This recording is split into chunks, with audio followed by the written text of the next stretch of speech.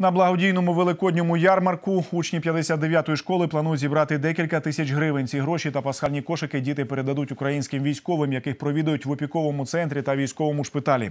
На зустрічі з бійцями школярі чекають із нетерпінням, адже для малечі вони приклад справжніх чоловіків. Ось ця маленька, гарненька україночка заманювала гостей ярмарку до свого столу віршами. Словно яркая раскраска, в школу к нам явилась Пасха.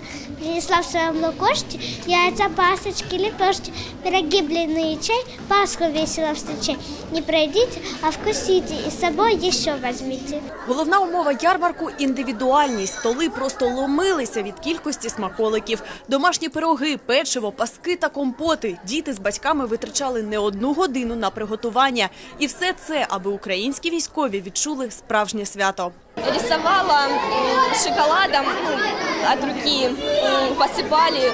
В общем, кексы мы рассчитываем на кексы, потому что всегда мы привлекаем внимание кексами с гербами. Тем более такое сейчас у нас в стране творится, и мы хотим привлечь людей именно кексами.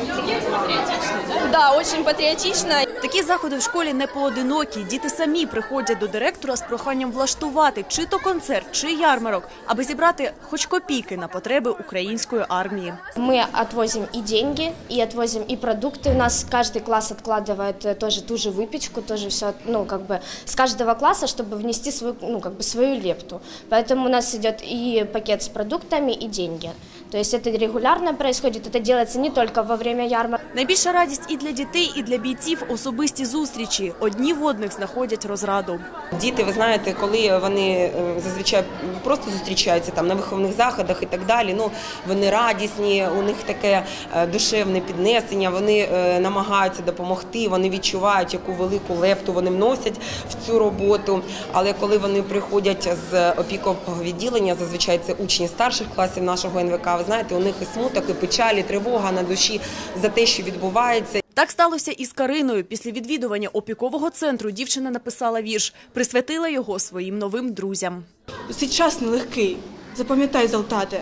Повертайся, будь ласка, живим, і ми закінчимо розпочати у новій державі, у мирнім строю, з Україною серці, ти мій герою. А ось Сашко не щуток знає, як воно проводжати батька на війну. Хлопець не бачив тата місяць. На щастя, чоловік повернувся здоровим і знову готується їхати на передову.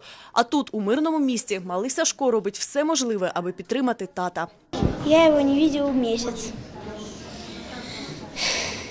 И Мы все с семьей его, его ждали, и он приехал.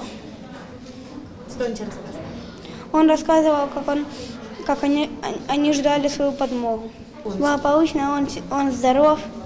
У найважливіше для усіх християн свято хлопчик звертається до наших бійців і сподівається, що його слова справдяться.